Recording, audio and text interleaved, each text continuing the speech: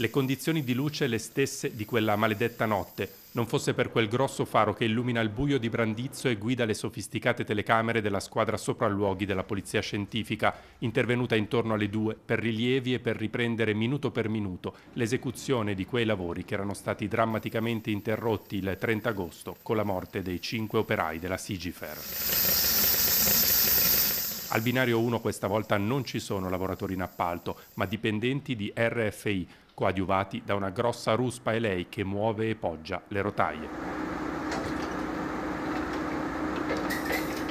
Giovedì al via le analisi della scatola nera del treno che ha investito gli operai, possibili ulteriori elementi per aiutare ad accertare ogni responsabilità da parte di una procura, quella di Ivrea, al collasso. Lo scrive il procuratore generale presso la Corte d'Appello di Torino, Francesco Saluzzo, secondo cui la vicenda di Brandizzo potrebbe segnare il tracollo definitivo di quell'ufficio giudiziario ingrandito a dismisura senza una dotazione di risorse proporzionata. I familiari delle vittime, ancora in attesa di una data per i funerali, hanno intanto raccolto l'abbraccio di Vercelli, che poco prima del sopralluogo della scientifica ai binari si è stretta intorno a loro in una veglia di preghiera. Dal Quirinale, in un messaggio alla ministra del lavoro Calderone, il monito del Presidente della Repubblica Mattarella, le morti sul lavoro feriscono il nostro animo, lavorare non è morire.